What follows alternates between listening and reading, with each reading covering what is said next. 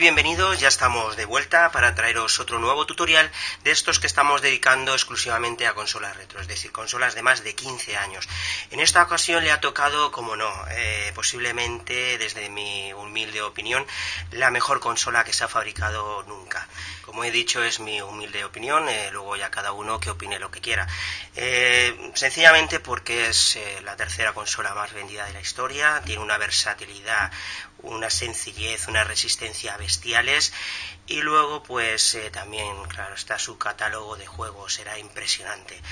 Luego también tenía muchas facilidades también a la hora de chipearla y hacer cosas eh, un poquito ilegales pero bueno eso es otra historia entonces ahora lo que vamos a hacer es eh, abrirla, no tiene ninguna dificultad eh, y luego pues eh, como todas las consolas, por muy bien que esté fabricada, siempre hay su pequeño talón de Aquiles, que en este caso era la lente, era la lente lo que siempre solía fallar.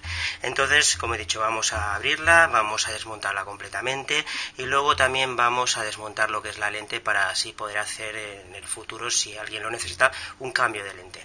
Entonces, nada, lo primero como siempre saludar a nuestros suscriptores e invitar al resto de personas que se unan a nuestro canal y así recibir todas las nuevas notificaciones de nuevos tutoriales que vamos a ir haciendo.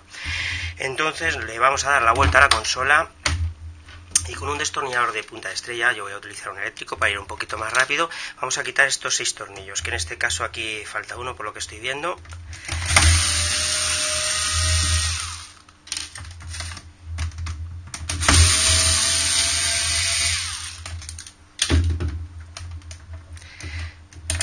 Hemos quitado los seis tornillos y ahora ya podríamos quitar la tapa de arriba.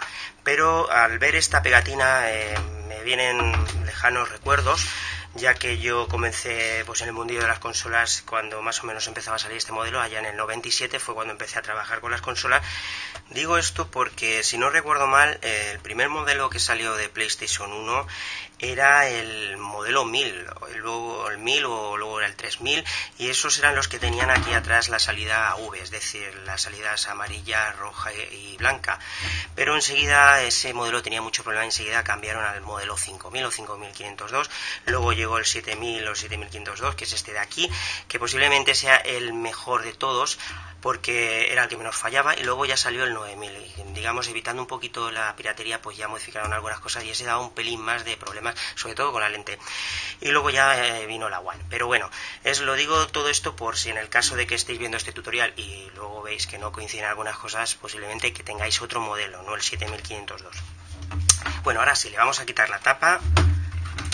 Tiramos hacia arriba y veremos pues lo que es la PlayStation 1 por dentro. Eh, como he comentado antes es muy sencilla, muy versátil porque porque va todo por módulos, es decir, puerto mando, fuente de alimentación, lente y placa. Entonces, claro está, si en algún momento fallaba lo que era la fuente de alimentación, es tan sencillo como quitar estos dos tornillos de aquí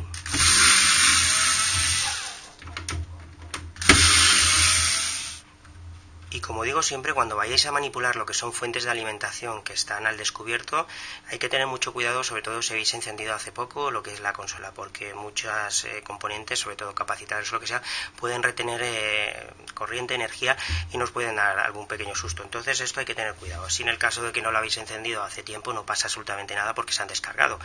Entonces lo que estaba diciendo, en el caso de que fallase la fuente de alimentación es tan sencillo como quitar estos dos tornillos y ya tendríamos fuera lo que es la fuente de alimentación. Luego eh, quitaríamos las conexiones de este cable que es el que alimenta la, placa, el cable flex que va al puerto de mandos, quitábamos estos dos tornillos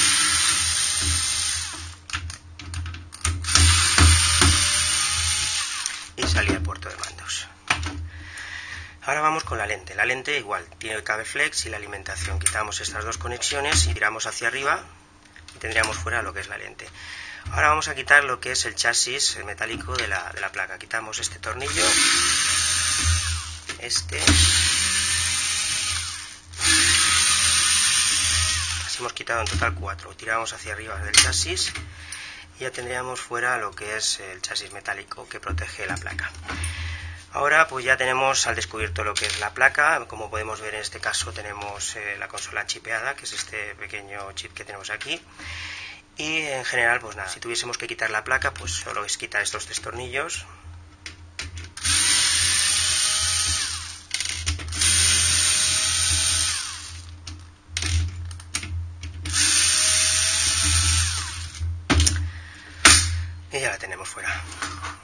Este modo ya hemos desmontado por completo lo que es una PlayStation 1.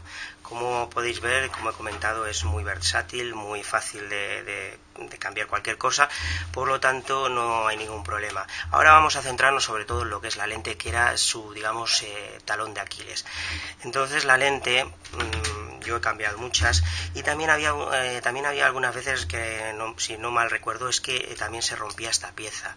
Esta pieza mm, hoy en día no sé si se podrá conseguir pero de cualquier Disman de Sony creo que también valía. Eso todo depende del grosor del eje central. Entonces esta pieza creo que también se solía romper mucho. Ahora vamos a abrir lo que es la lente. Aquí tenemos dos tornillos de color negro de cabeza de estrella. Los vamos a quitar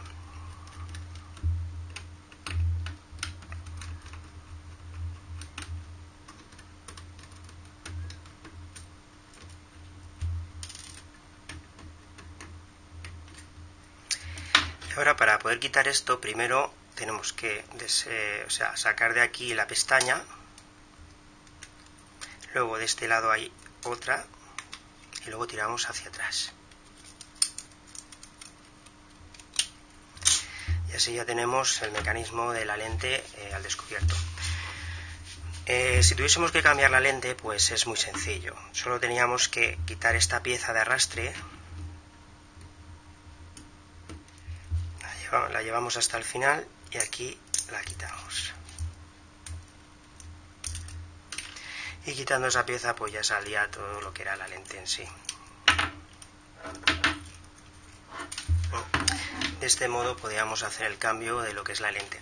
También eh, hay que decir que esta lente lo bueno que tenía era eh, que se podía calibrar y luego también eh, era muy sencilla limpiarla. con un bastoncillo, un poquito de alcohol, un bastoncillo de estos de algodón, un poquito de alcohol podíamos hacer una limpieza fácil y rápida de lo que era la óptica. Entonces ahora vamos a volver a montar lo que es la lente.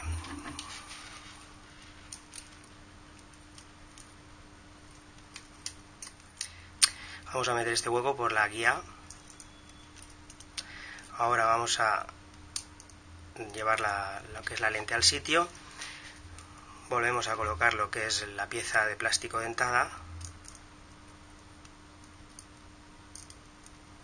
hay que, hay que introducirla y luego llevarla hacia atrás.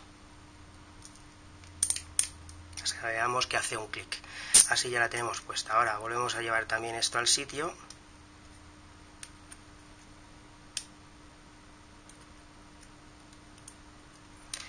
Y ahora pondremos otra vez lo que es el armazón de plástico.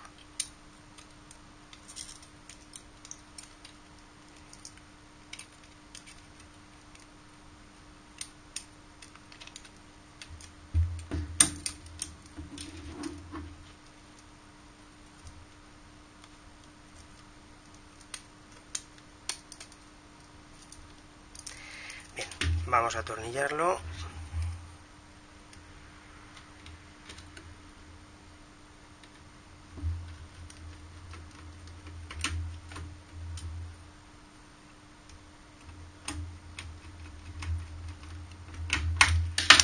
y así hubiésemos cambiado lo que es la lente en sí. Pero como he dicho, se podía hacer una limpieza, a veces no hacía falta cambiar lo que era la lente, solo con una pequeña limpieza a la óptica, con un poquito, un, bastoncillo de algodón y un poquito de alcohol, se podía limpiar la óptica y a veces se recuperaba. Y si no, también podíamos calibrarla desde aquí.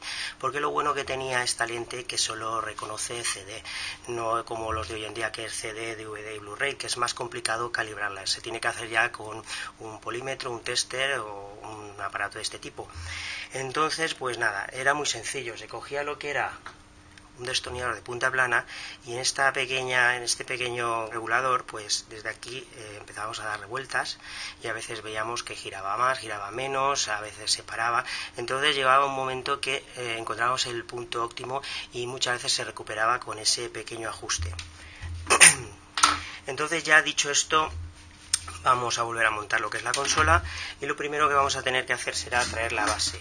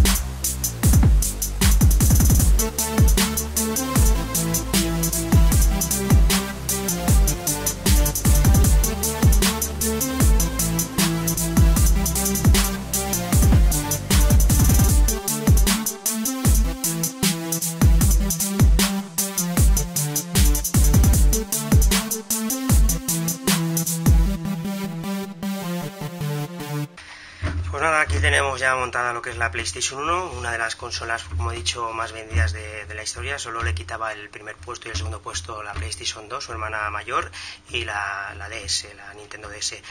Entonces nada, ya solo queda deciros lo de siempre. Si os ha gustado el tutorial, si os ha servido de ayuda, ya sabéis, un like, un me gusta, que no cuesta nada, y nos veremos muy pronto en el próximo tutorial. Un saludo y hasta pronto.